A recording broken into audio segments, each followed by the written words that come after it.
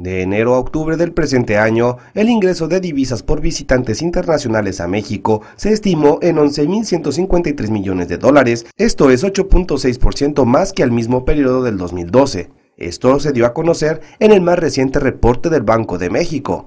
Con esto se reafirma que México continúa la tendencia positiva en la derrama de divisas por turismo. En el periodo de referencia del 2012 se obtuvieron apenas 10.269 millones de dólares. En tanto, el flujo de turistas internacionales sumó 19.2 millones, lo que representa 1.9% arriba de los 18.9 millones alcanzados en los primeros 10 meses del año pasado.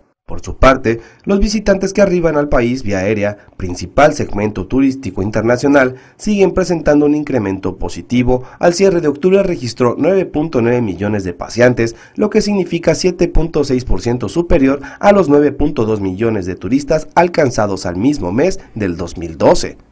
El turismo fronterizo también presenta un aumento positivo. Durante el periodo enero-octubre del 2013, este segmento creció 1.3% al pasar de 7.9 millones de turistas en el 2012 a 8 millones en este año. Informó para Nuestra Visión Noticias Héctor Tapia.